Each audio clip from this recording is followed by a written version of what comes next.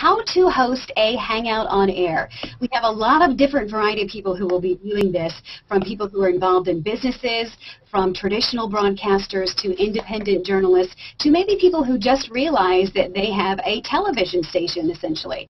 So what we'll be doing in the course of the next 45 minutes to an hour is educating you about how to use your new television station. A Hangout is a nine-person plus the host, a 10-person group video chat room, and it streams live within Google+.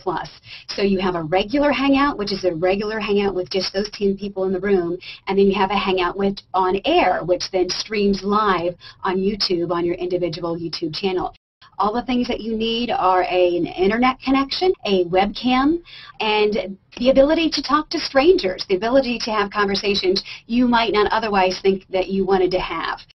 I'm excited here today to have a group of journalists, a group of independent journalists, and developers in this space who will be sharing a little bit about some of the tools that we use on Hangouts on Air, but also a little bit more about the journalism renaissance that this space is fostering.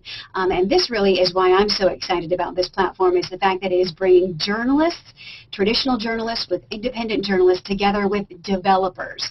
And um, as you know, the developers are the rock stars on this platform because they are coming up with all of these interesting tools for us to use in Hangouts on Air.